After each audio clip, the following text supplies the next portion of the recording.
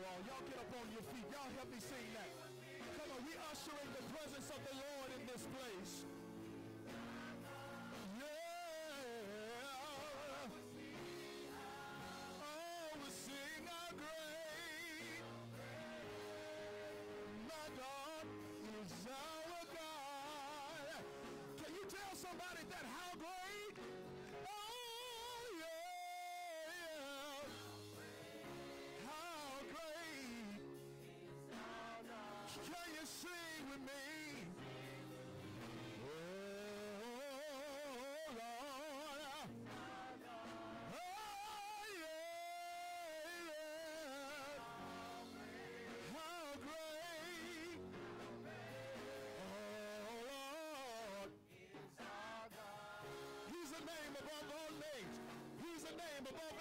It's either just sing it like this right here. Choir!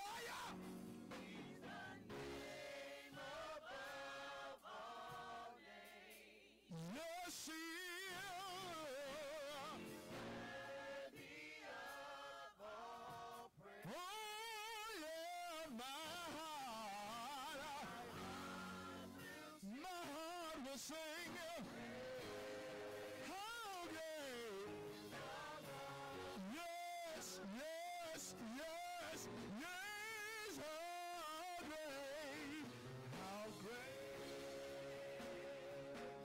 How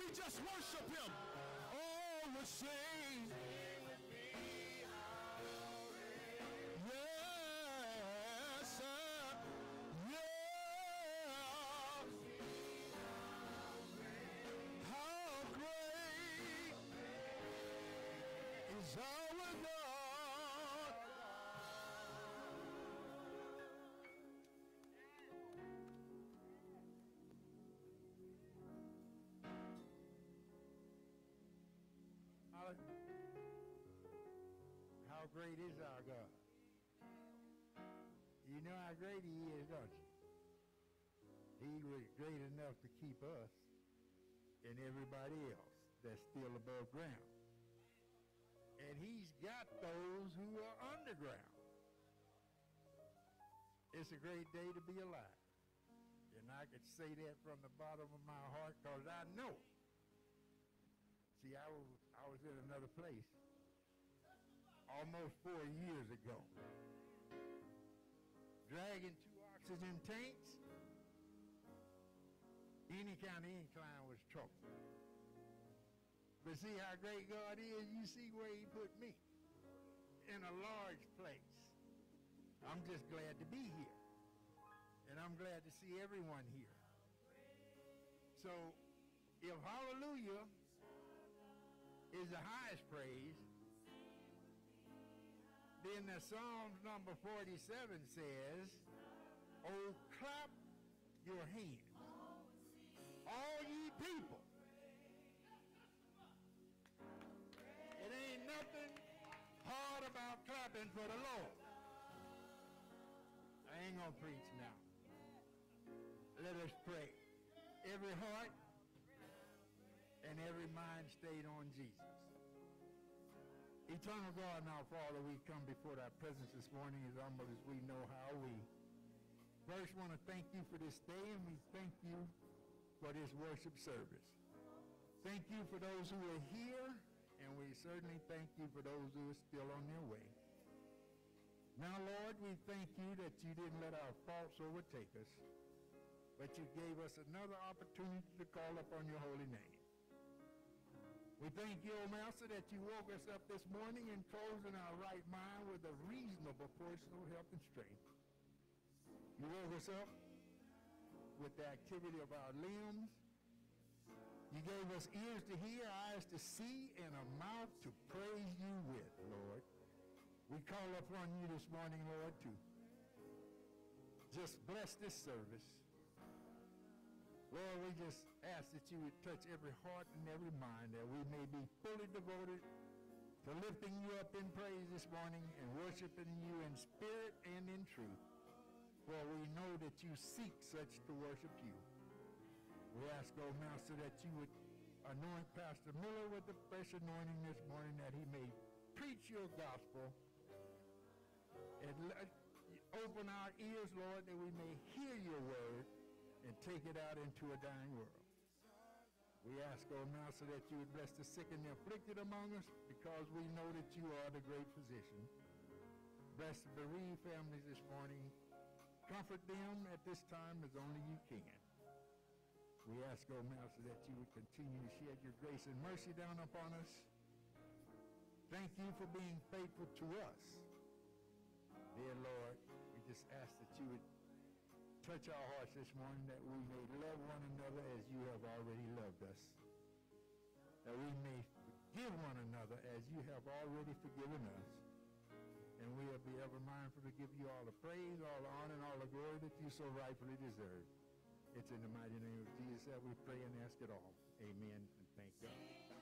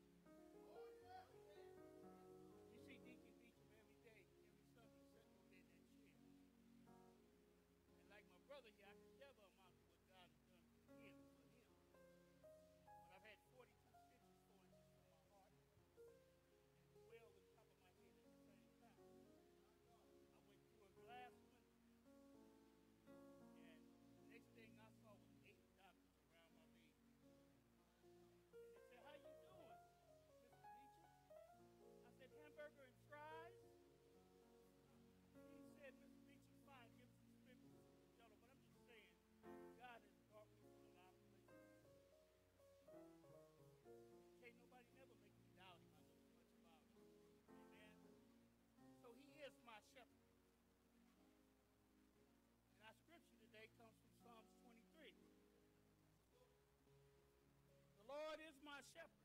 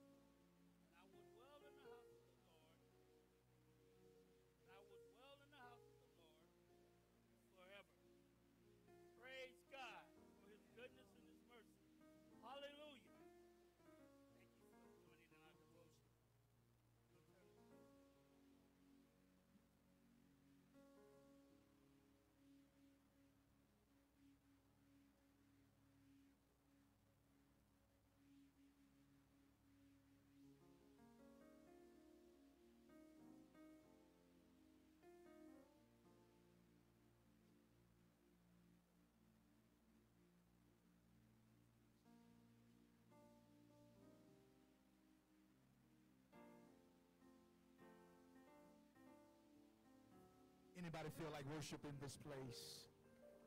Come on, come on. You can do better than that. Anybody feel like worship in this place?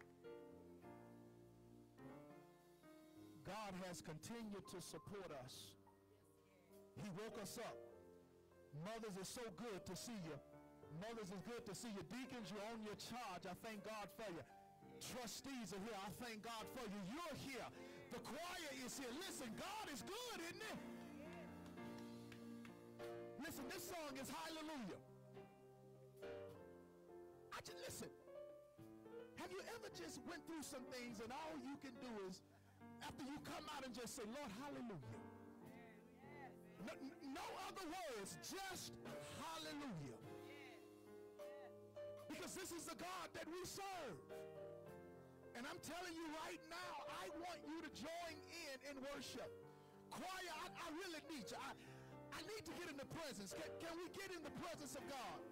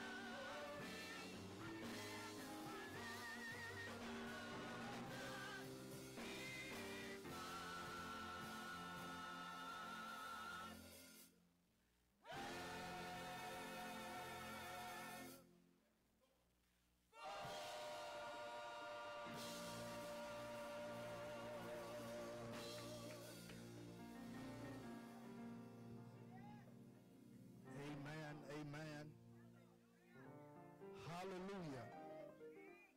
Salvation and glory. Glory to God. We bless you, choir. We honor you. Listen, it's time. It's time for us to read together the church covenant. Have it. You stand with me. I'll read. I'll read the first, you the second, and we will do that until we get to the last that we will read in unison. If you don't have one, please stand with someone.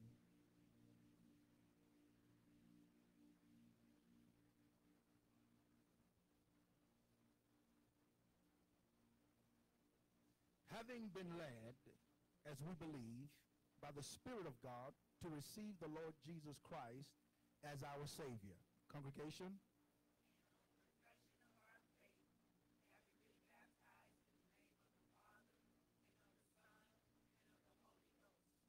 We do now, in the presence of God, angels, and this assembly, most solemnly and joyfully enter into covenant with one another as one body in Christ.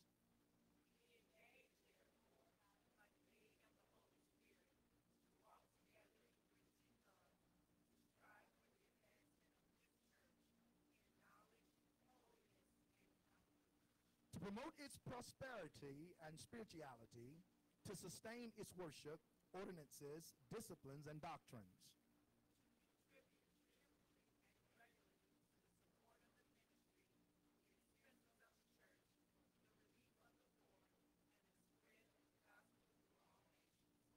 We also engage to maintain family and secret devotions, to religiously educate our children, to seek the salvation of our kindred and acquaintances,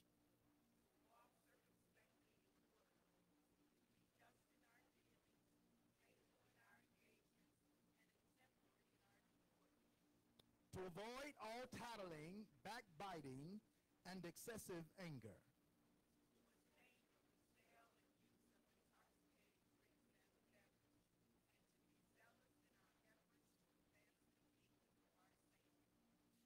We further engage to watch over one another in brotherly love.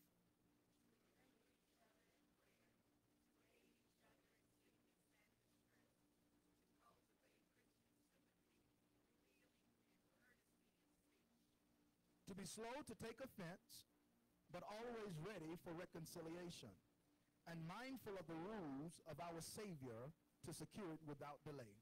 Oh, we moreover engage that when we remove from this place, we will, as soon as possible, unite with some other church where we can carry out the spirit of this covenant and the principles of God's word. Amen. You may be seated.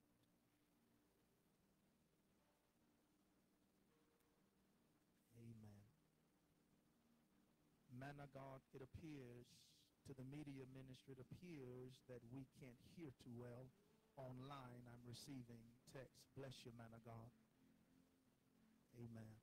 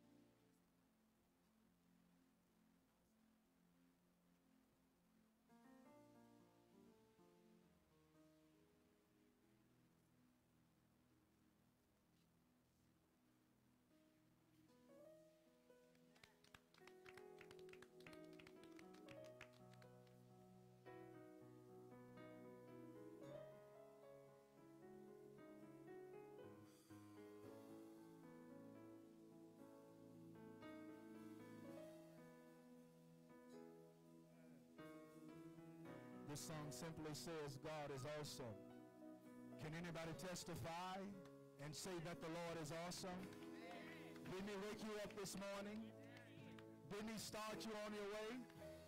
Activity of your limbs? Oh, he's an awesome God. He's an awesome God. Come on, let's give God a hand of praise in this place.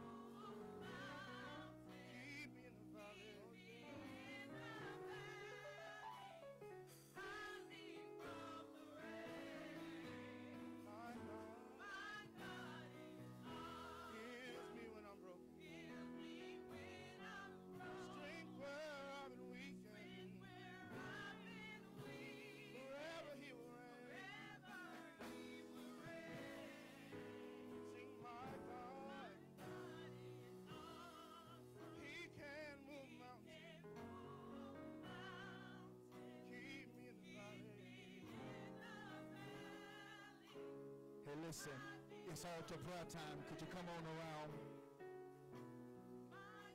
You know what? Before altar prayer, while they're singing that, it's a good song that we can get prepared to give the Lord tithe and offerings. He's awesome like that.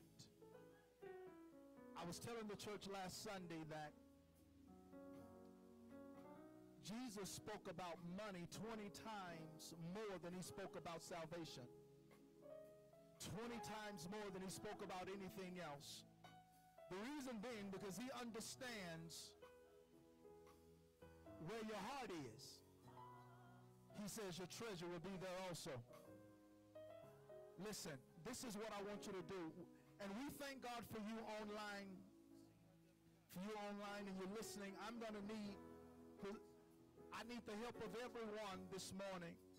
I want everyone to sow $20 more today. I need everyone to do that. When God spoke to me about, about getting up for offering, he told me that, remember, son, that we have to sow to the place that we're looking to go. Does that make sense? Your harvest is dependent upon what you sow. Now remember what the scripture says. That that a man sows, he reaps. It's not only talking about his behavior. Amen, somebody. But it's talking about in our finances. Uh, listen, this is what I believe. I believe that the cattle on a thousand hills belong to the Lord. I believe that. The scripture also declares that if he was hungry, that he wouldn't tell a soul because the world is his. That's the God that we serve. That he has total control. He's, he's sovereign enough that he don't have to make mention when he's hungry. Because creation is his. And Paul said that Christ is in you, the hope of glory. I need everyone, I know you've probably written out your tithe, the offerings, I need you to sow with me an extra $20. You online, I need you. I need about 40 of you to sow an additional $20.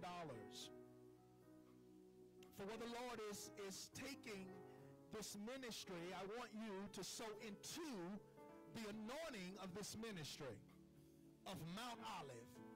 And we can do this together. This is a show of solidarity, solidarity, it's also a show of your you're trusting God and you're putting God to the test.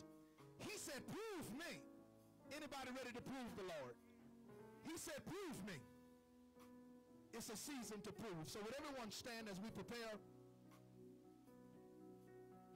Some of you saying, well, I don't have any cash. Well, we can give by Givelify. Look up Mount Olive. Missionary Baptist Church of Albuquerque. You look that up. Um, we also give um, by Zelle, M-O-M-B-C at finance at gmail.com. M-O-M-B-C dot finance, I'm sorry, at gmail.com. I want you, I want you to, to trust God with us. Trust the vision that we're going to love we're going to lead and we're going to live like Christ. And to do these things, we want to make a statement in this community. We want to make a statement in the community and let them know that we are a place of shelter, a place of help. Let us pray. Father, we thank you for everyone that's abiding by what you have released. We thank you for tithe and offering. Lord, there are some here that may not have, but we know that you can change situations overnight. Lord, give them an overnight experience in the mighty name of Jesus. You do it for your glory.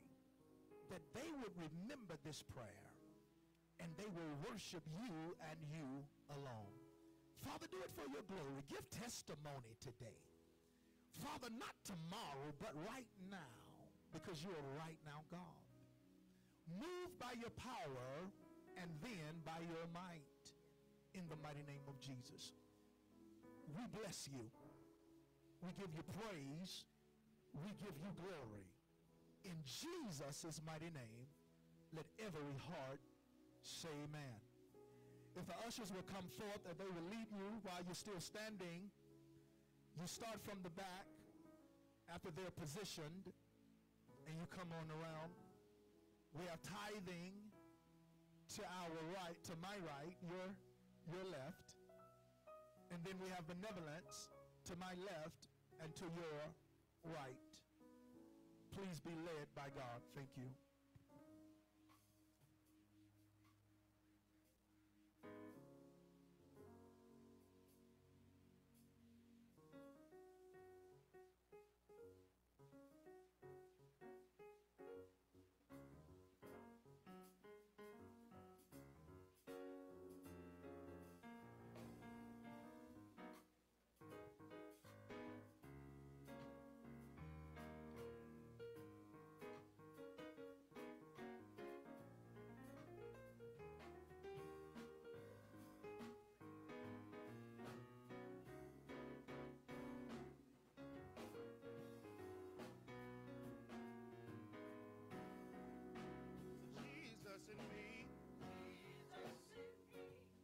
Jesus.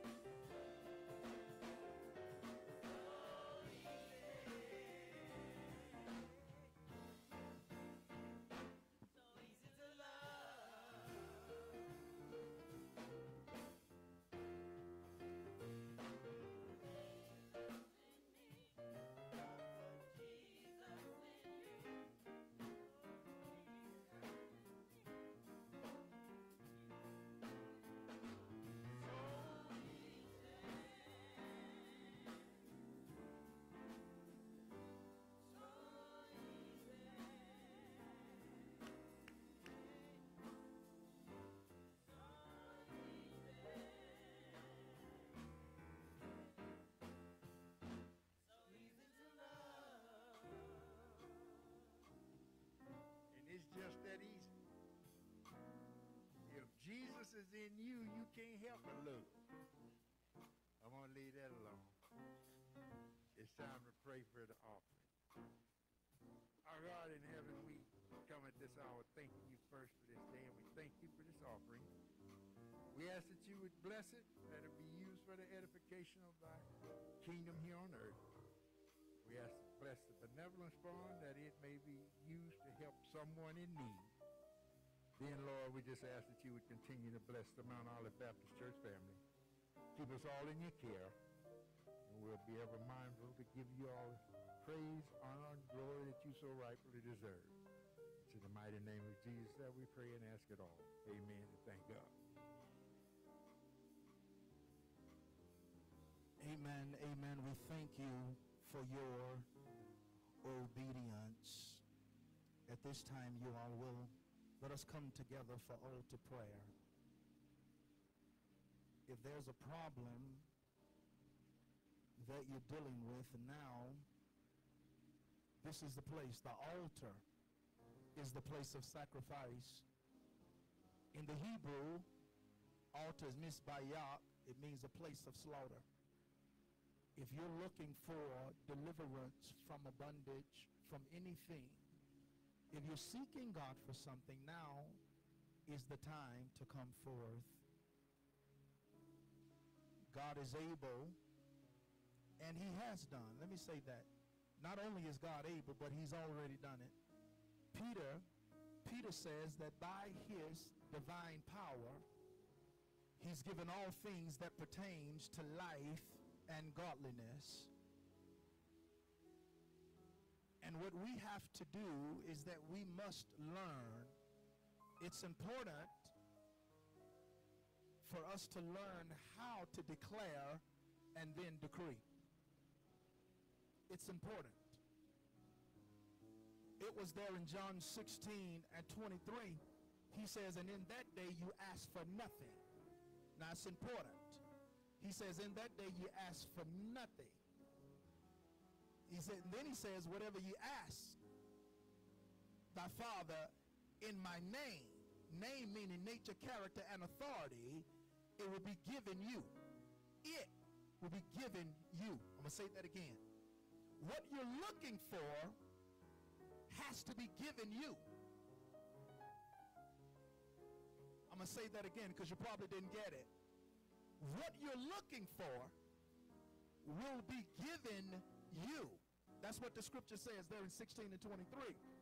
And the reason being is, is because you walk in the nature, the character, and the authority of the Lord. He says, whatever you ask in my name, the Greek word for name is onomo. And it means nature, character, and authority. So whatever you ask in my nature, in my character, and my authority, he says, I will give it you. Let us pray. Father, we come to you right now.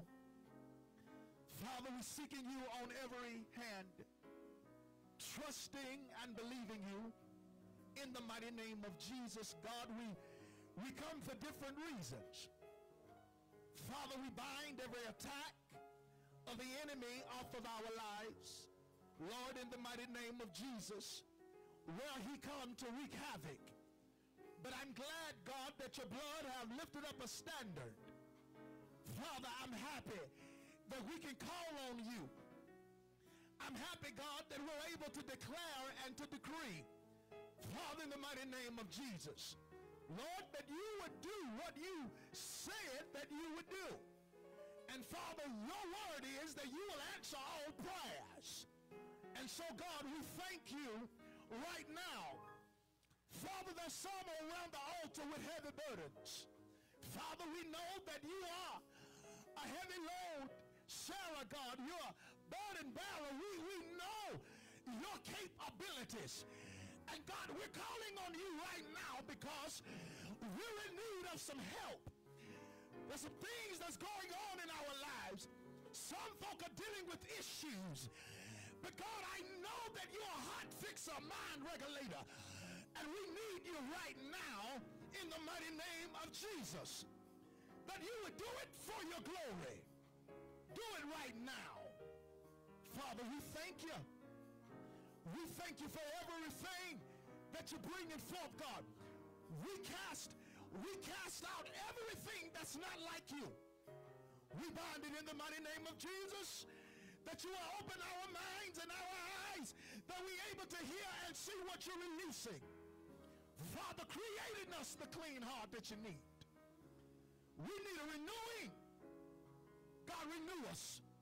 Father, do it for your glory. Father, I thank you right now. Father, we know what the Supreme Court ruling has been about affirmative action, God. But I know that you are God over all actions. Father, meet needs right now. Father, we bind the attacks of the enemy. And we will not live in the past, God. But we're going to stand today on your word. Do it for your glory. That boy, that girl that, that seemingly will have trouble, make a way in the mighty name of Jesus. Make a way for families. In the mighty name of Jesus, make a way, God. Put worship on our hearts. Put praise upon our tongues. And remind us that you are God. And beside you, there's no one else. Father, I send the word to Sister Brown, Brother Brown, God. She's sick. I send the word to her that you would touch her from the crown of her head to the sole of her feet. I send the word to Jody, God. Move by your power, God. Do it for your glory. Whatever that is in opposition to your word, we hold it into captivity right now. And we declare and decree the power of the blood in Jesus' mighty name. Those under the sound of my voice, God, do it for them. You do what they're in seek of of you. Do it for your glory. We thank you in advance. Jesus' mighty name we pray. Amen. Hug somebody, tell them that you love them.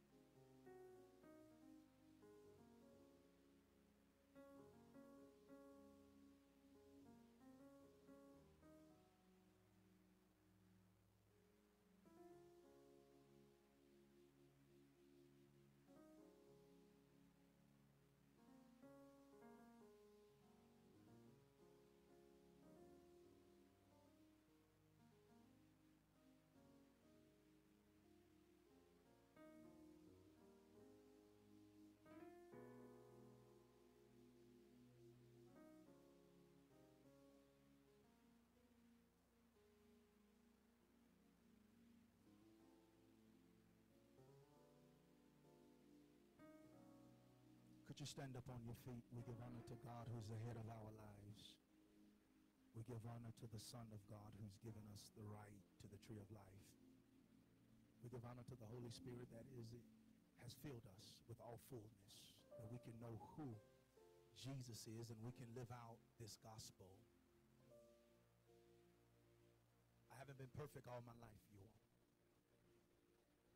And I thank God that we're all of assembled here because all of us, at some level, have wronged God. Some level have wronged somebody. And I want to say, if I've wronged anyone here, if you can find it in your heart, if you can find enough grace to forgive me, that you can charge those things to my head and definitely not to my heart. So I recognize that that no one is perfect. Nobody.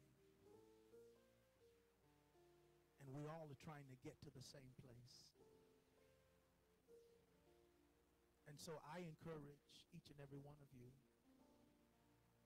Sometimes you may go to have to go to that person that you know that you haven't done anything wrong, but they haven't ought against you and still say, could you forgive me? See, that's the love that, that Christ is looking for us to exhibit. He said it on the cross. He said, Lord, forgive them, for they know not what they do. And if we can mimic that, the world would be greater. It'll be greater because we're showing them how we're to operate. The past is the past. We can't do anything about it. But oftentimes we carry things as if it's here in the present. I'm going to sing a bit of this song as we get ready to get into the word. And while I'm singing, you can find there in Revelations 12, Revelation 12 and 11.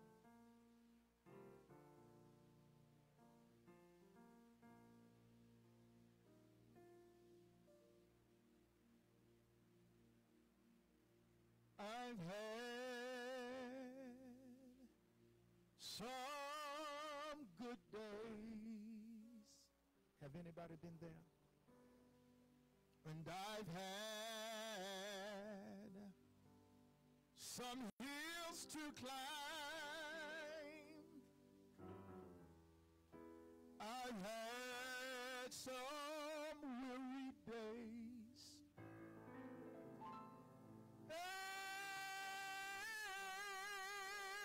some lonely nights.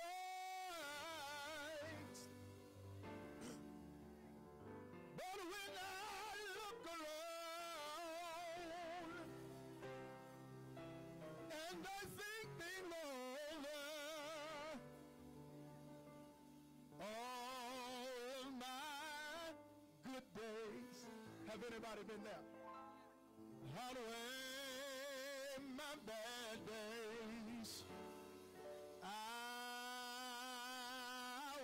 Complain. Sometimes my clouds hang low, so low that I can hardly see the road. I ask a question, Lord.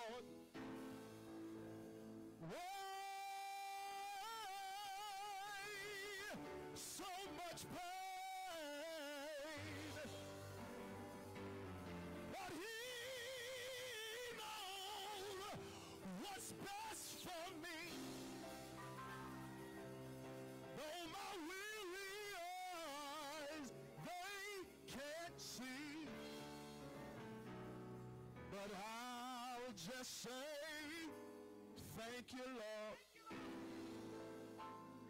Thank you, Lord. Thank you, Lord. I, I won't complain.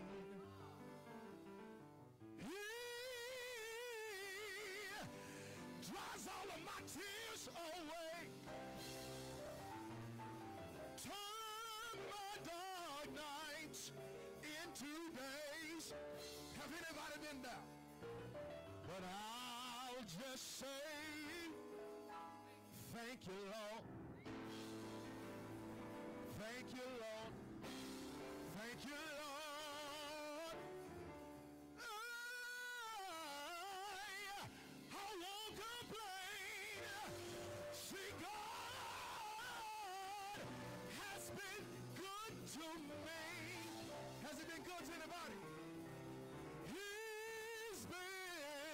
So good to me.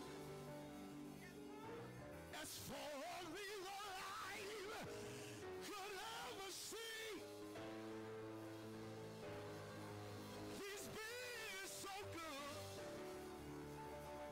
He's been so good.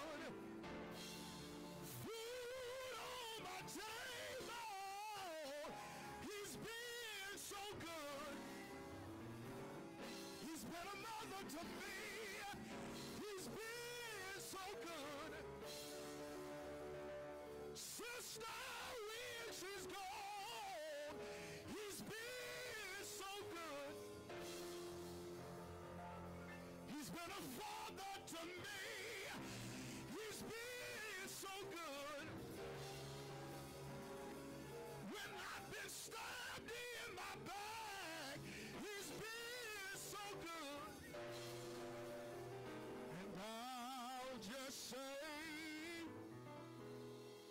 thank you, Lord.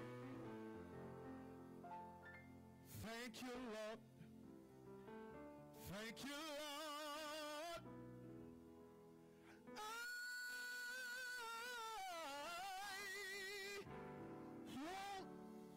I won't complain. Father, we thank you. We thank you for the privilege of preaching the gospel. We don't take it lightly. But Father, we recognize that it's definitely instruction. It is the very same power that rebukes and reproves. And we want to say thank you. I'm an empty pitcher before a full fountain. Father, I'm in need of you. Arrest me and set me into the sea of humility that I know nothing of me.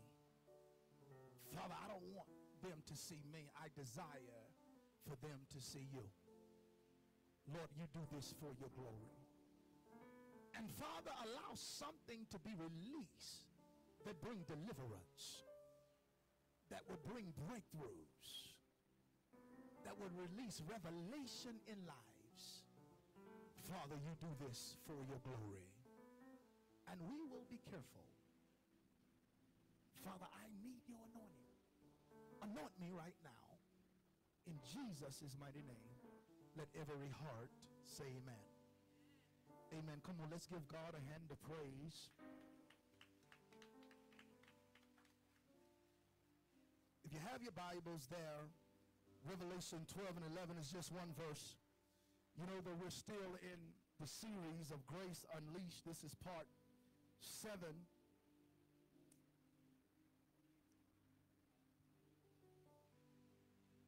As you get that in a, and rise to your feet, get ready to look into this, what God is saying. If you have that, say amen.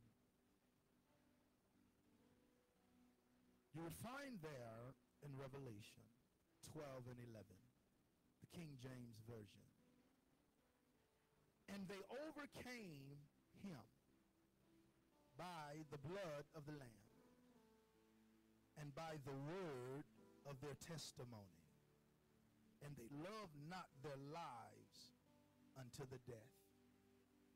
We want to deal with this morning an indestructible testimony. Look at your neighbor and say, neighbor, the pastor is going to deal with an indestructible testimony. You may be seated. Oftentimes, Revelation is one of those books that we have come to fear.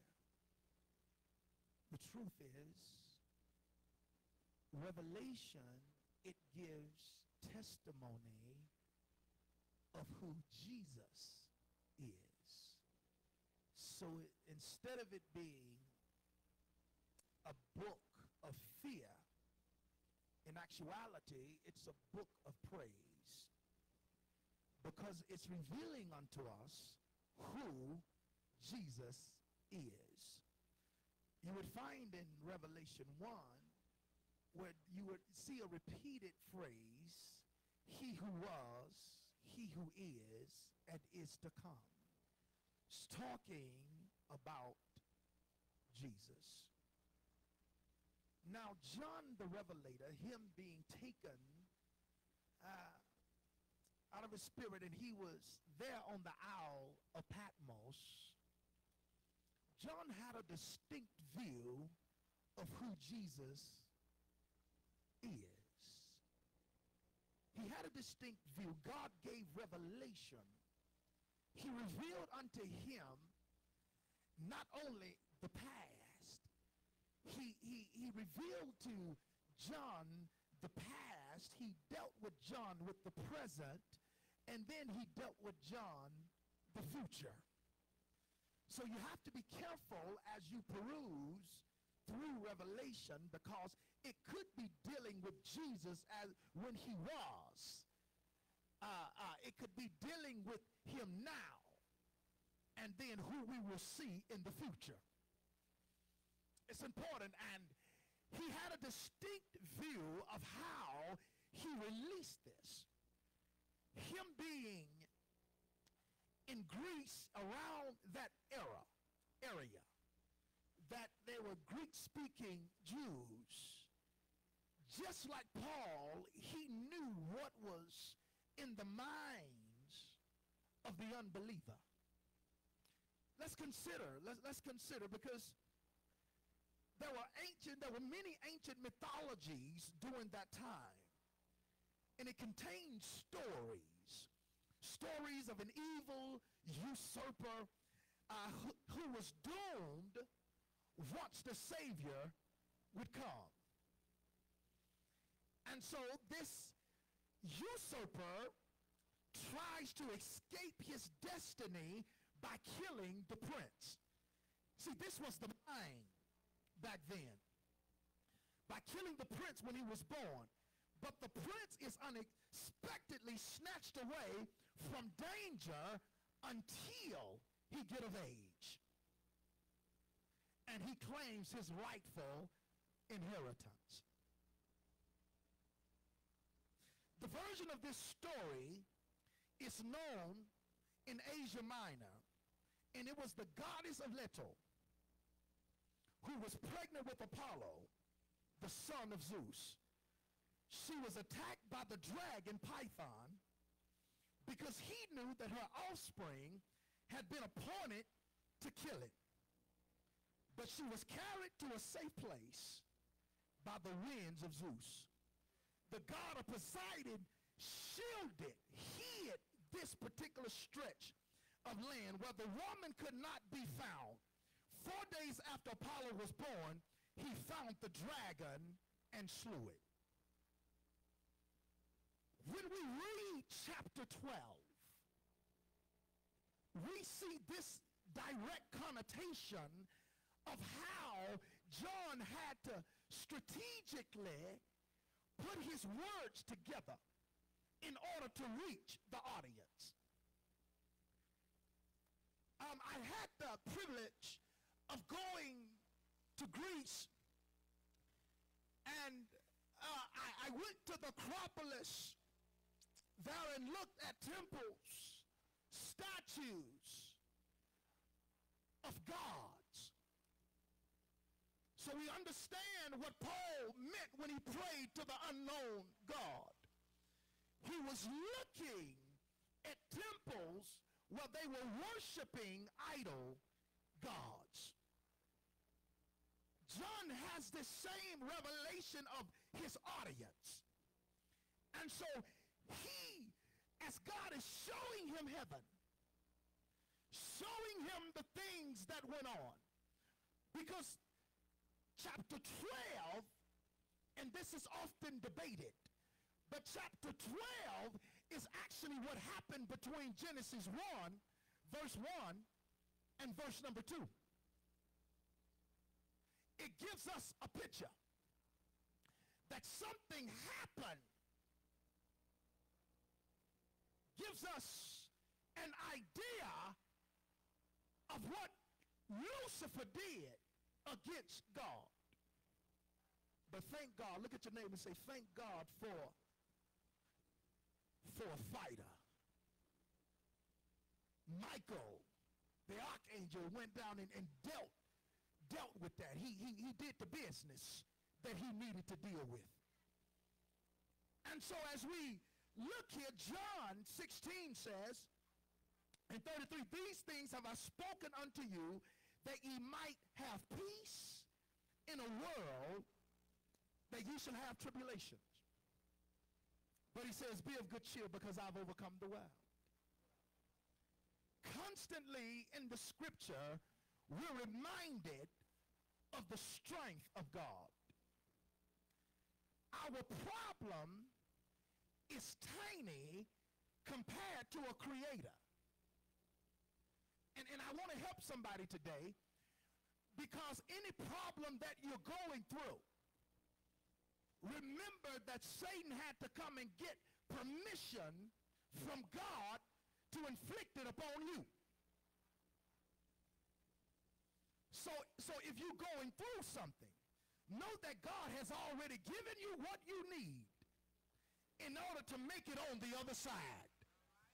See, oftentimes we want to praise after we go through. I submit unto you, you need to start praising him now. Praise him before the battle is over. You need to shout because Lucifer is the employee. God is the employer and he's got to come and get permission. And sometimes you gotta remind the enemy, listen, you, you, what you're trying to do to me is illegally. It's illegal. You can't charge me double for what my God has already paid for.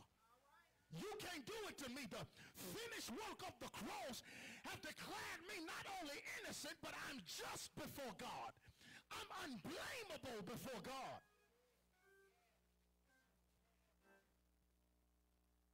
Romans 16 and 20 says, And the God of peace shall bruise Satan. And he's going to put him under your feet. The grace of our Lord Jesus Christ be with you. And then he signs off and say amen. See, we got to know the power of God and the power that is within you. Jesus says the kingdom is within you. See, if you don't mind me, can I get a little personal? See, we got to stop praying. Watch this. We got to stop praying and looking up in heaven as if God is far away. Jesus said the kingdom is within you. Christ within you, the hope of glory. And we're praying as if he's somewhere else. And God is saying, I need you to be in communion with me. This is why I release the Holy Spirit. So you will know me. I'm not far away. I'm nigh unto thee. Stop saying that I'm over there. Stop waiting for the kingdom for you to get to the kingdom. He says, Jesus says, thy kingdom come, let thy will be done in earth as it is in heaven.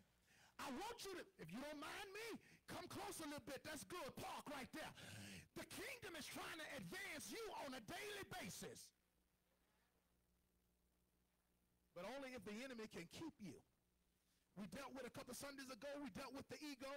We dealt with that. But Revelation is revealing that the devil is your nemesis. Lucifer is your nemesis. Yeah. Satan is your nemesis. Contrary to popular belief, he's not mad at Jehovah God.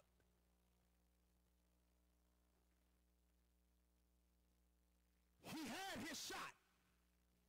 He tried to overthrow it. He's a good sport because he has to come and get permission. Y'all missed it. He's not mad at them. They got an agreement. It's a covenant now. I wish I wish I had some praying folk in here. He's not upset at God. But you, on the other hand, is another problem. He's coming after you. 12, 12 of, of, of Revelation said, listen, he's coming down. He know he have but a short length of time. He said, listen, you best to beware. Because he's coming for you. And no matter their situations and their circumstances that we go through. And um, I want you to understand that the enemy is trying to do all and everything that he can to derail you.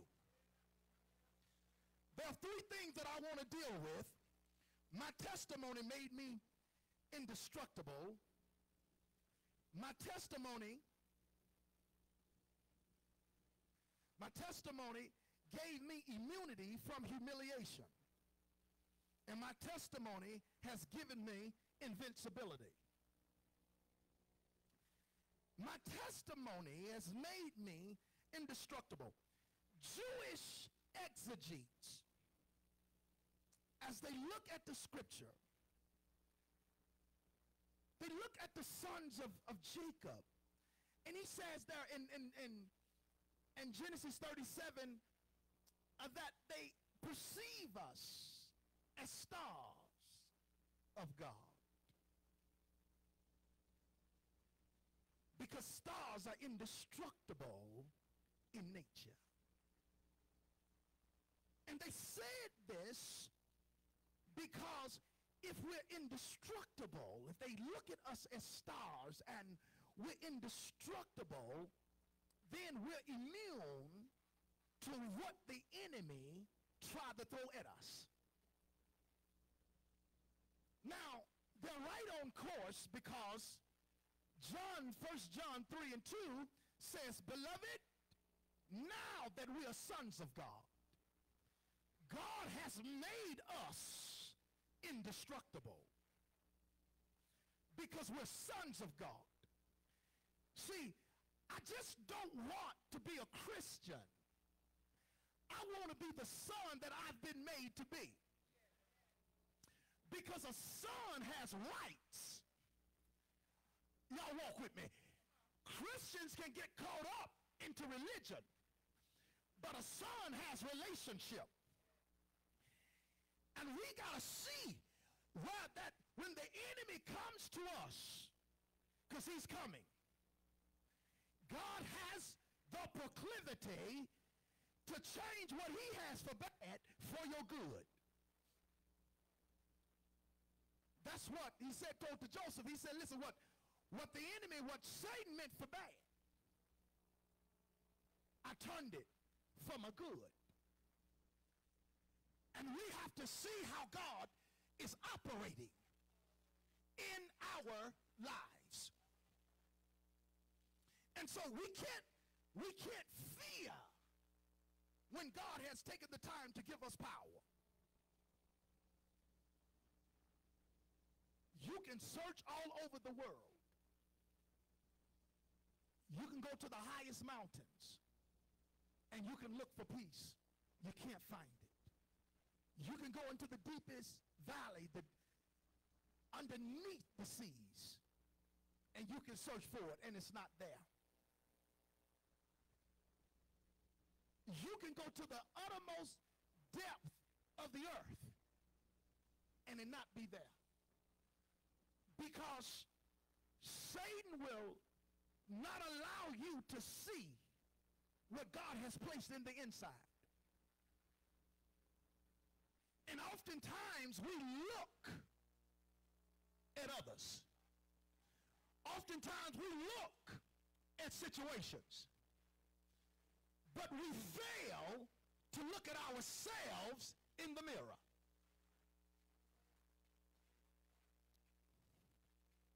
The reason that David was a man after God's own heart was because he was quick to ask God for forgiveness.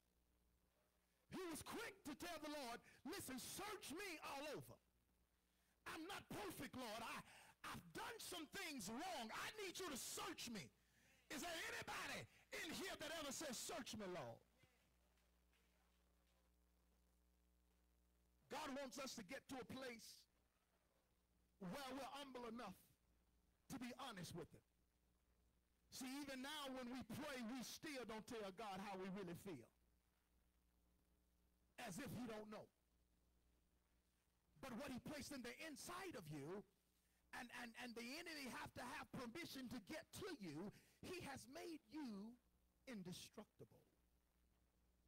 And so the things that you've overcome, you can look behind you and say, it was him. It was him that brought me over. It was him that put a tongue, a song on my tongue. It was him that didn't allow me to look like what I've been through. It was him that when folk talked about me, he still approved of me. It was him that took the guilt and the shame away from me. It was him that said, no matter what you do, son, I am I'm in love with you. It was him. And it's because he looked over my faults and he saw my knees. He gave me an indestructible testimony. Not only did he give me an indestructible testimony, but he he gave me immunity from humiliation. There is a word that the power that the that the scripture often declares that we have, and it's called power. Power in the Greek is jurisdiction, juris law, meaning that he's given us diction and word. Power. He's given us jurisdiction. The word that you have, it gives you property. You have the authority. Now watch this.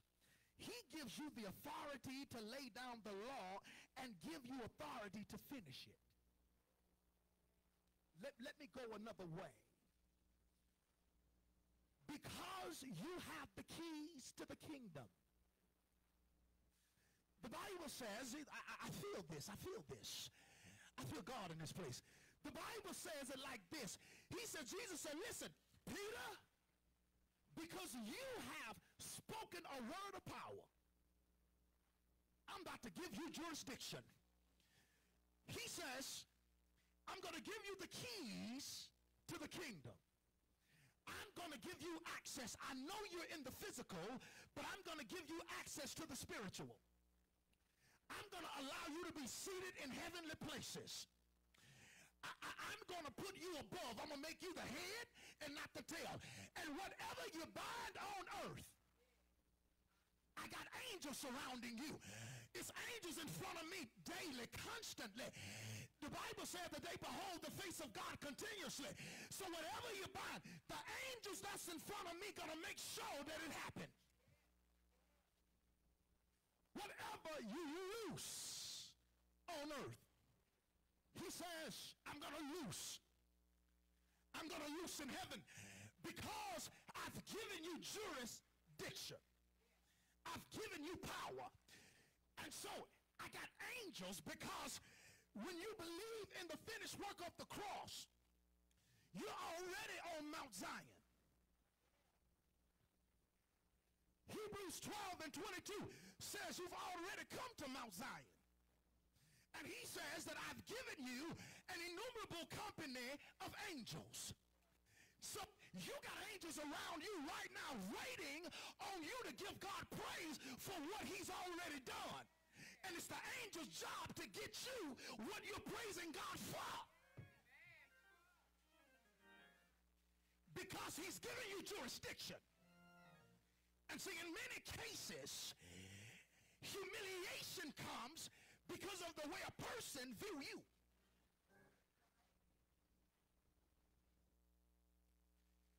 See, God has a way. He has a way because people can guilt you into shame. Unfortunately, it's in the church, just like it is on the outside. Um, but if anybody should be more understanding, it should be the church. Because we've all come from somewhere. Now, now, now, now, now, now, I know that you might be holy now. But there were some days that you weren't holy. I know you may love him now. But there were some things that you used to do that you felt that you didn't deserve his love. And I'm here to tell you that guilt can come by the words of your mouth because, watch this, because he's giving you jurisdiction. So somebody could actually speak over you and give guilt to you. But the same word that spoke over you that will guilt you is the same word of God that will pick you up out of the miry clay. I wish I had help in here.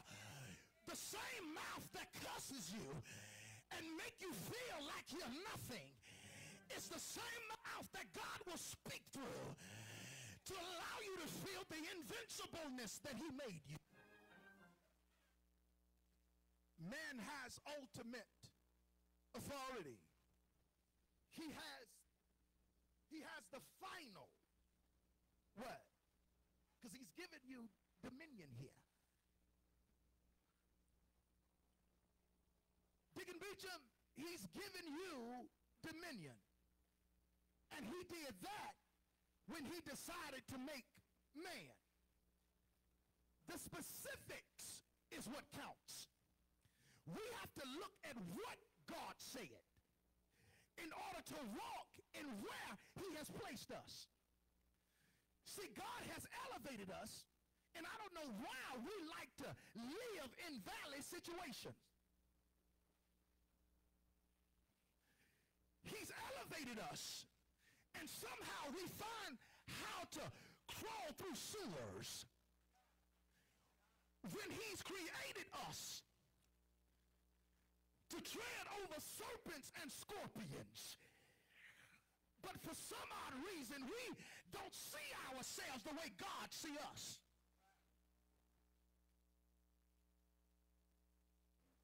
I feel good in this place. Listen to me. When God simply said, he said, let us make man in our image. Oh my God, y'all missed it. See, he was specific. It's the specificity that changes your whole life. Because nothing that anybody can say about you should be able to guilt you because God has already elevated you. You've been protected. Look at your neighbor and say, neighbor, the Lord has protected me from humiliation. He says, he says, this is what I want you to do. This is what I want you to do. I want you, when you walk, you don't hold your head down. I feel like I'm back in the 30s. I feel like I'm back in the 40s. Yeah, yeah, yeah. I, I feel, even though I've never been in slavery, but somehow our, our forefathers used to bow down. But every time I read this word right here, the Lord tells me to straighten your back up. Look forward. It's from the hills that cometh your help. You don't need to look down any further because I'm the God. Forget affirmative action. They can rule all they want to. I got a God that changes everything. He's given me testimony. He's gave me immunity from humiliation. And he does this, or he did this, because he's given us his name. Told you earlier, the name is not just anything. I don't want you to just pray and say, in the name of Jesus. Because if you just say the name, you just think about the word Jesus. J-E-S-U-S. But if you transpose what name means in the Greek, nature, character, and authority, it changes everything. In the nature, the character, and the authority of Jesus, you see the difference? Because he's given you his name. The moment that he created us in his image, he gave us his nature. He gave us his character. And then he gave us his authority. The Bible says that the just shall live by faith. Watch this. Just mean that you've been declared innocent. You are innocent before God. It is the devil that's uh, the accuser of the brethren. He's the only one that's accusing you. But the God that we serve, the God that created us, he made us free from humiliation. And whatever the devil is accusing us of, I thank God for the blood because it's the blood that paid the price. Last thing I want to deal with that my testimony has given me invincibility.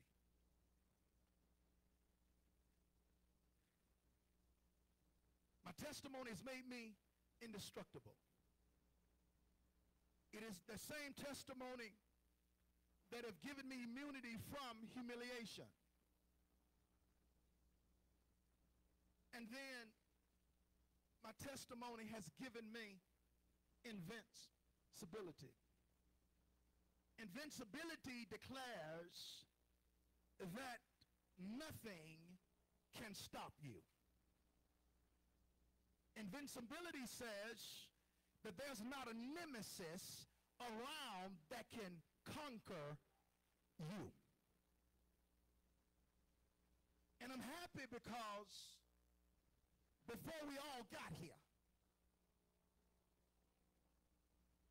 Jeremiah said that the Lord knew us before we got here.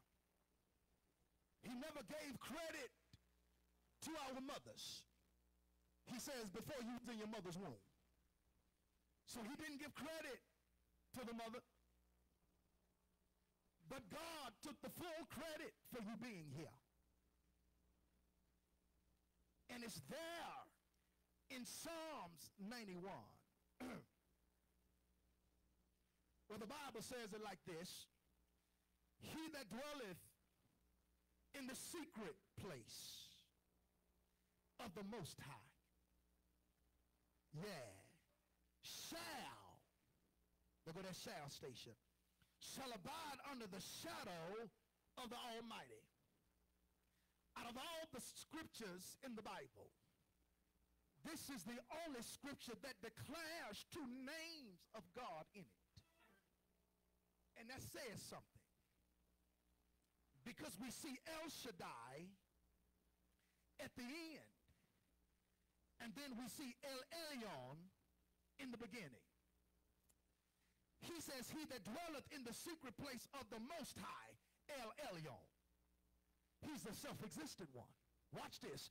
Shall abide under the shadow of the Almighty. That's El Shaddai. Y'all missed it. Because the Lord that we serve it's the God that we serve. Well, he allowed us when he made us in his image. What he had in mind was Jesus going to the cross. He had in mind the finished work and what it would do. And I'm so glad that, yes, that the Lord loved me enough that he made me in his image. I'm so glad this morning that the Lord loved me enough uh, that he put me into two places.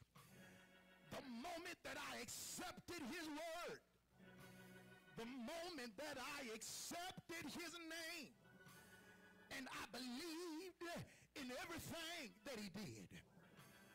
He says, I'm going to make you invincible.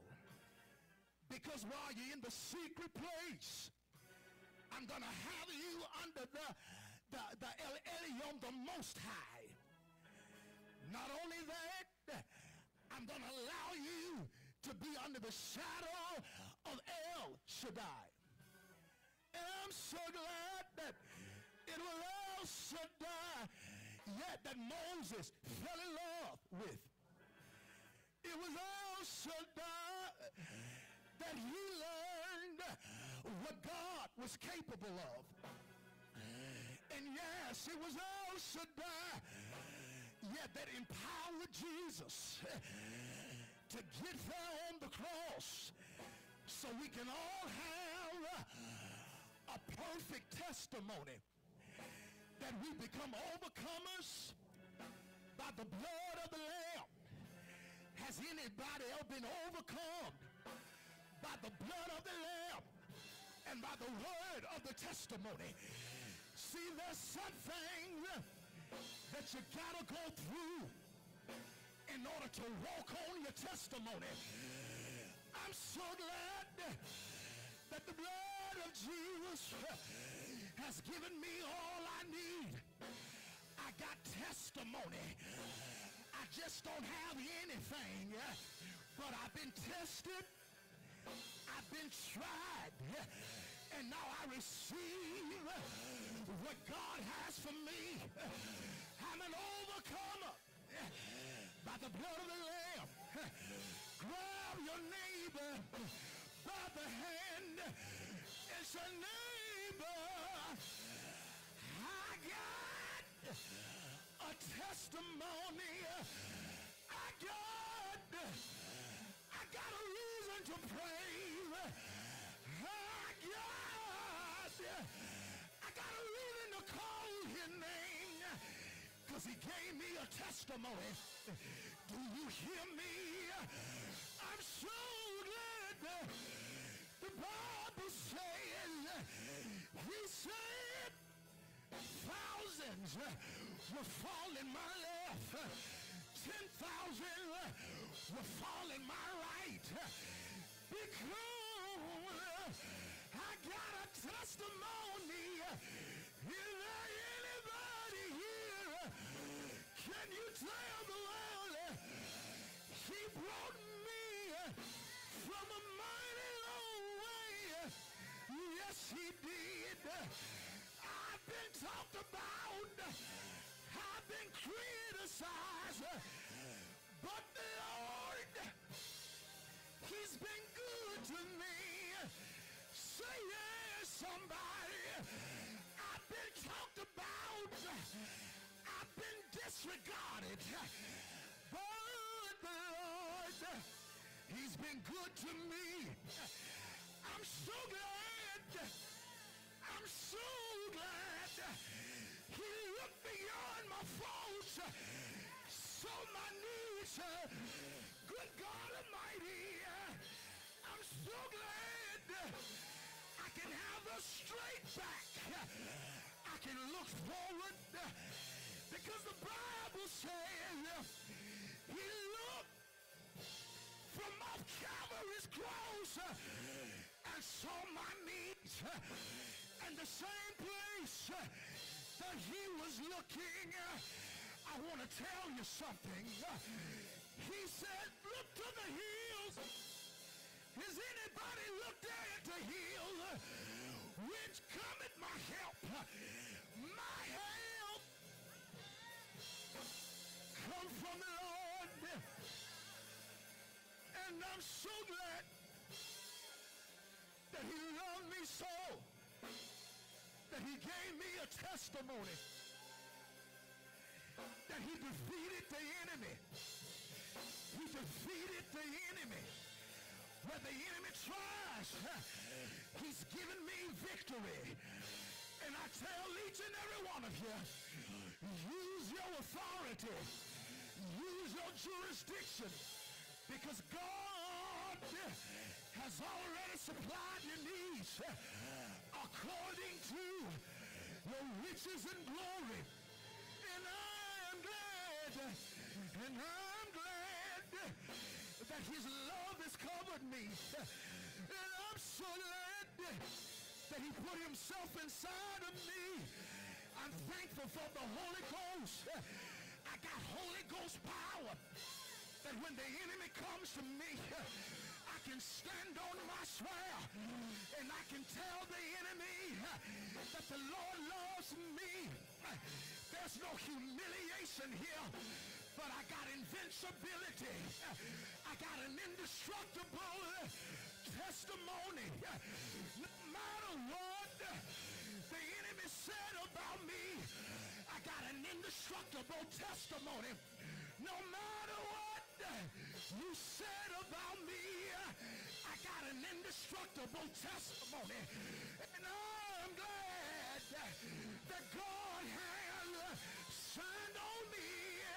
And I'm so glad he picked me up.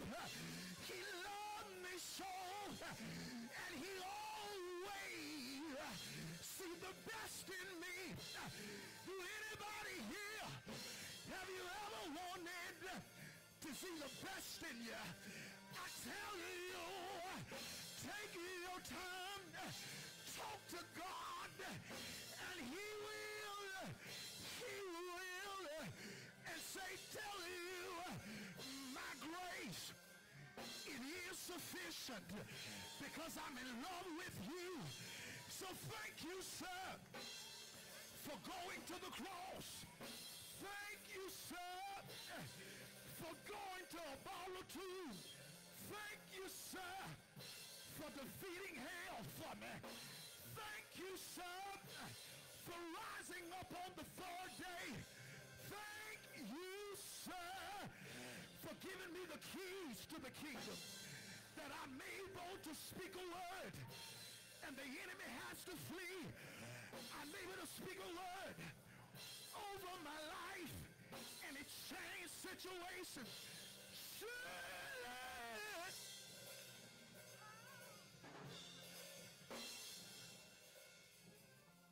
Grace and mercy shall follow me all the days of my life. And I will dwell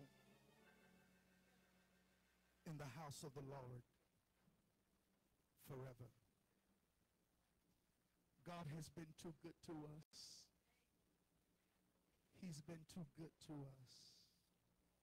He's been so good to us that he provided the testimony. All we have to do is assume him. We just have to accept it. You don't have to do any backward flips. It's a belief factor. And as we open the doors of the church, as we open the doors of the church, I say this to you, those that are watching online, this is a great church to be a part of.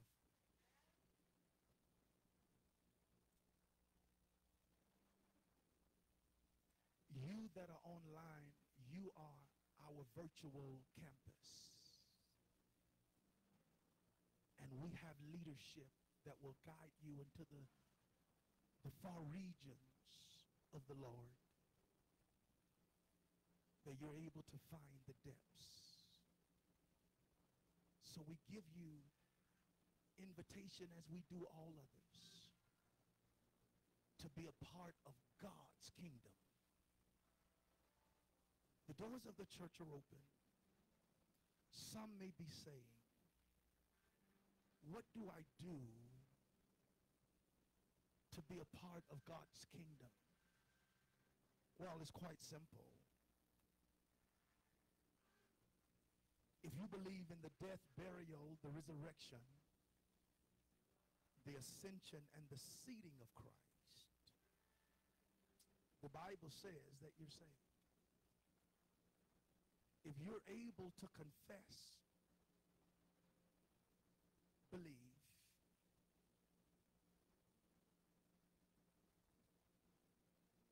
admitting that you're in need of a Savior, God says, hey, welcome to the kingdom.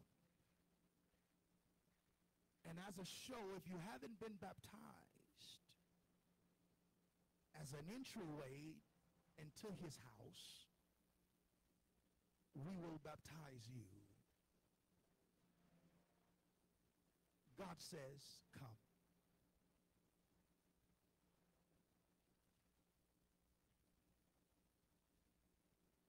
You can come by letter.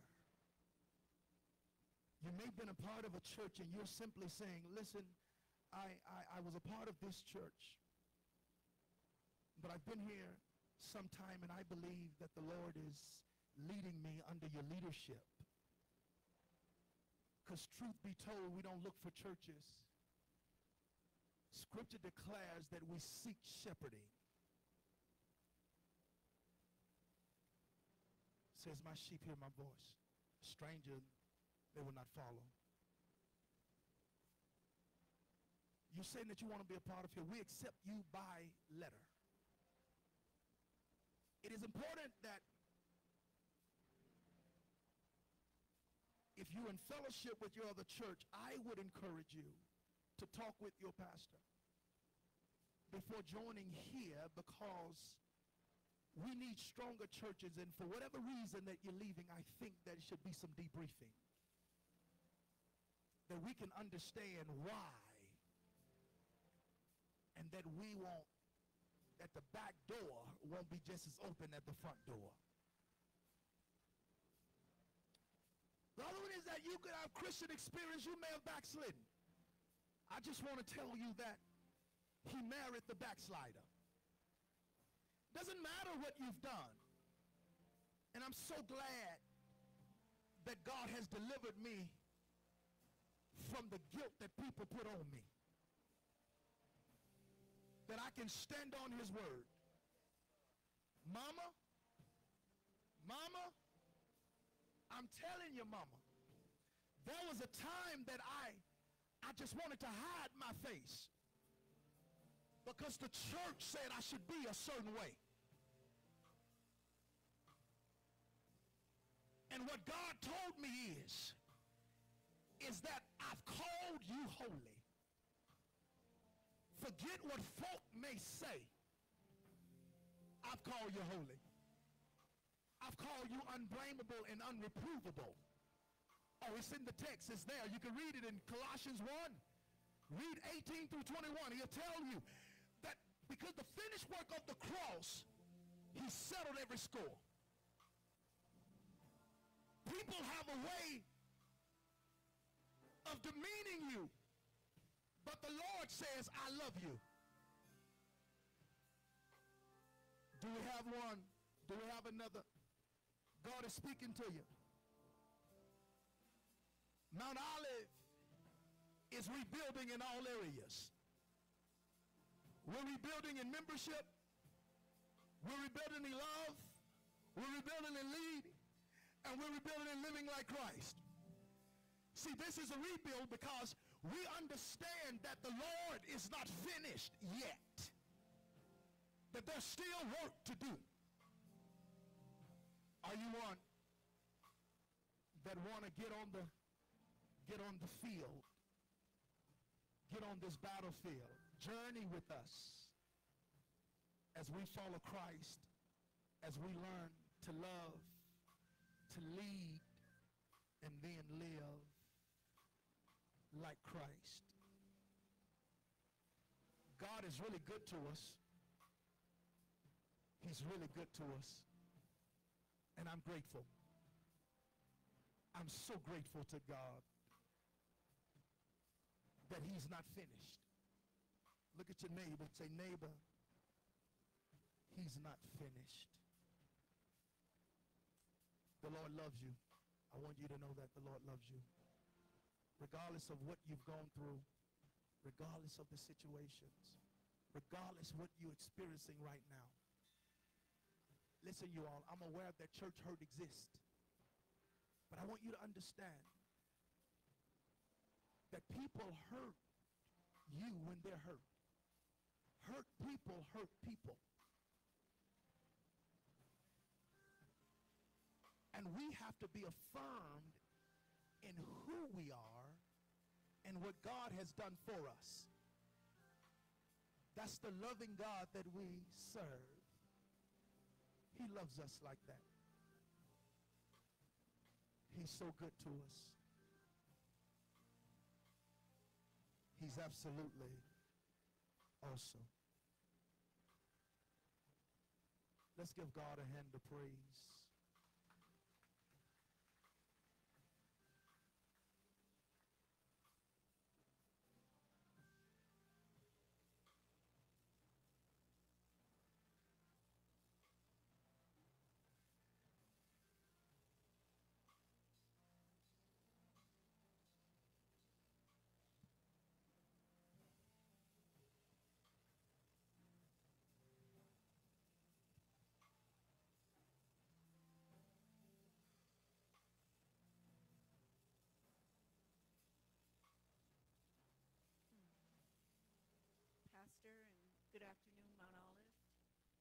We have coming forth um, for readmission. We've been here before. Miss Stephanie Paz and her two daughters, Lachey and Katrina. So they're coming forth to rejoin Mount Olive.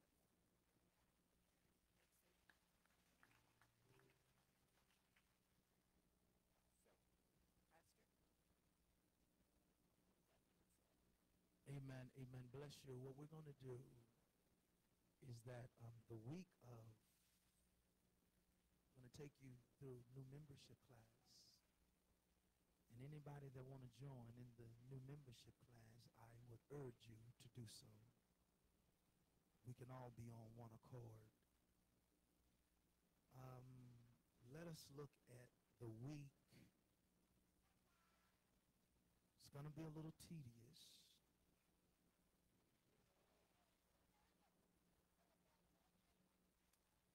Let us look at the week of the 17th because I fly out of town today and I won't be back. So let's look at the 17th um, and we'll have it here. I encourage, listen to me, that's on a Monday. Huh? The state convention is that week.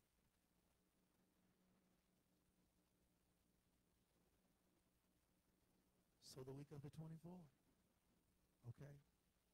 The week of the 24th, let us, um, it'll be that week right there.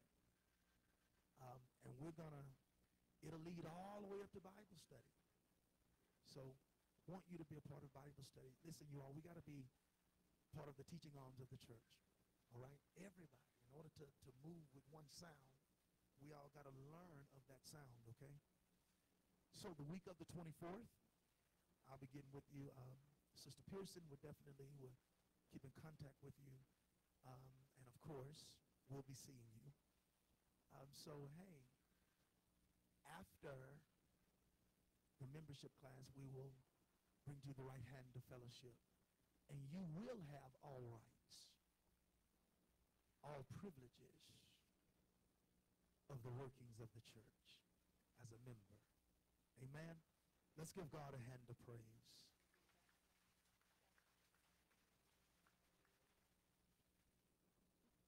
We bless God for you.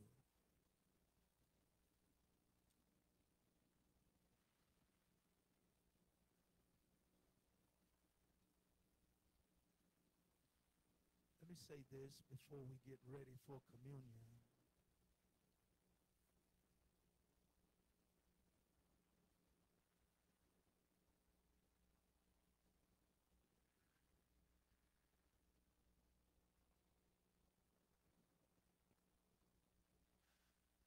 We won't have Bible study this week. We won't have it. We'll have it the following week.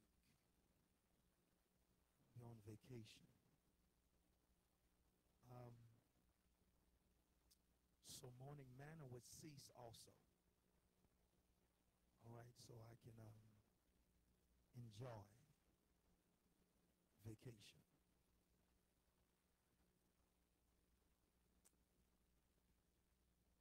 We're getting prepared for the 125th church anniversary. Let's keep that in mind.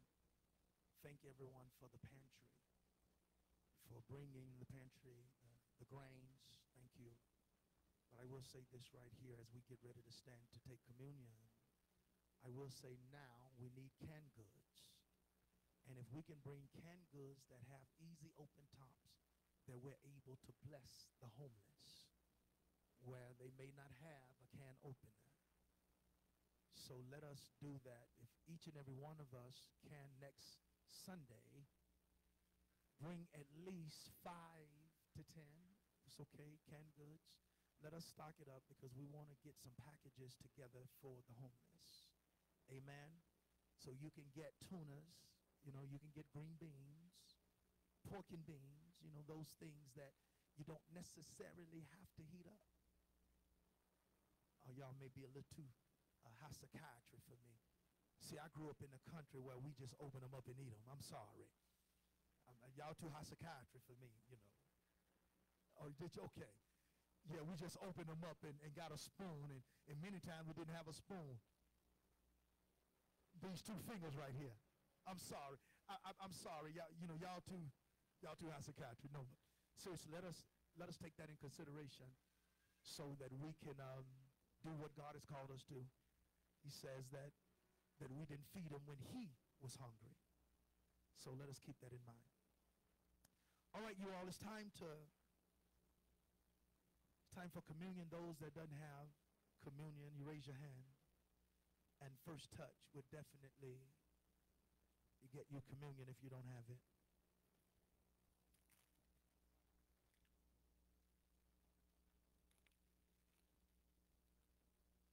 Going to be teaching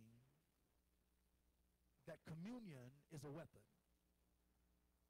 I want you to understand we're just not taking bread or drinking juice, but it's a weapon.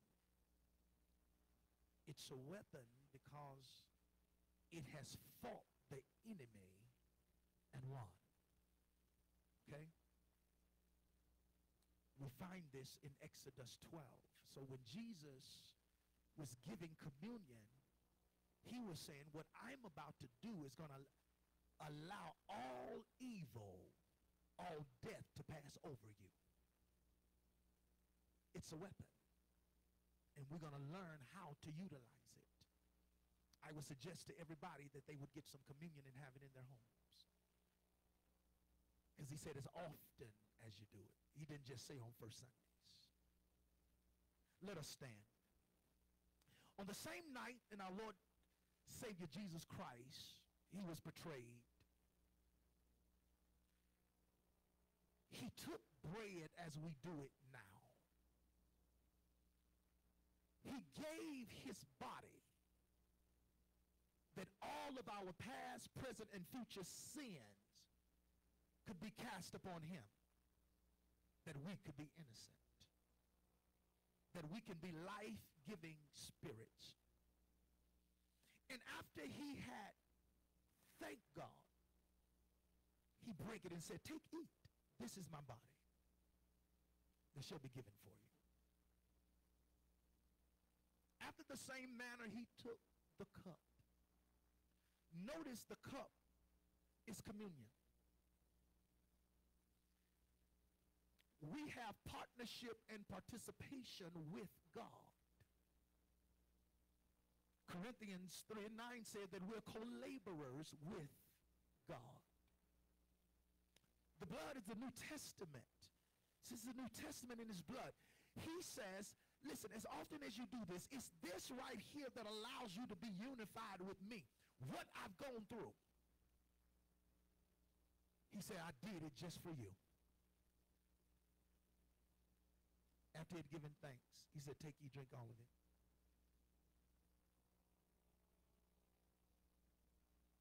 And after which, they sung a hymn and they were dismissed from the Mount of Olives. Guide me over thy great Jehovah, pilgrim through this barren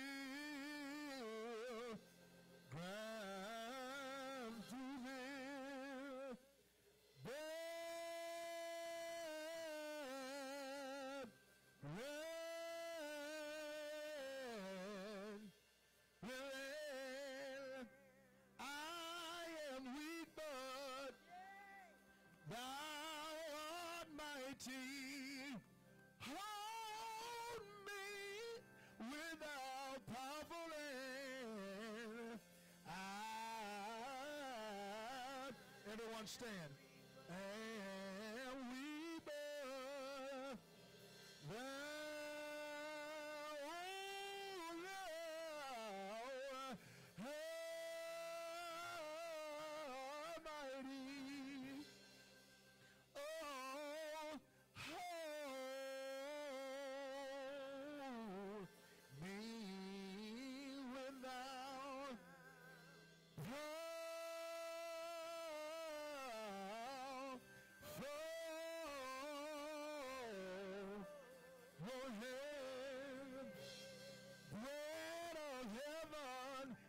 somebody. Bread